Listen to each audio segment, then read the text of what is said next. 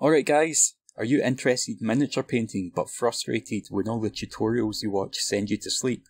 I create compact, information rich videos that are easy to follow and fun to watch. If you want to learn the techniques and theory that allows you to create great looking miniatures like these, subscribe today, be a better painter tomorrow.